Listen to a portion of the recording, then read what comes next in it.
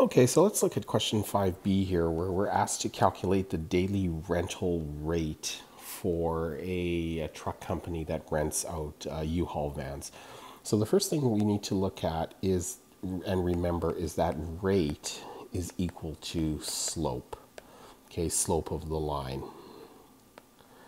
Um, and it's usually rates are always used. Something is also a unit per time. Okay, so it's a unit per time.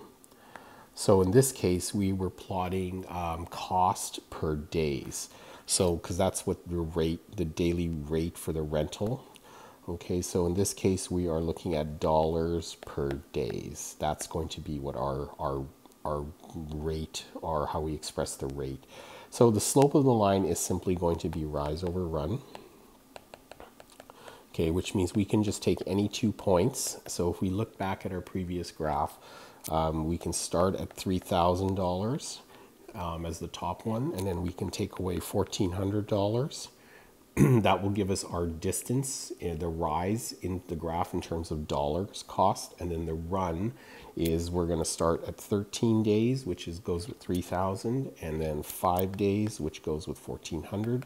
So this will give us $1,600 for every eight days.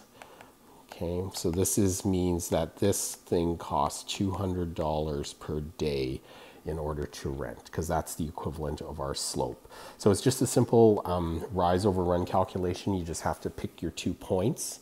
Um, it doesn't matter which two points you pick. If it's a straight line, the slope will always be constant. Okay, so that's how that question would go.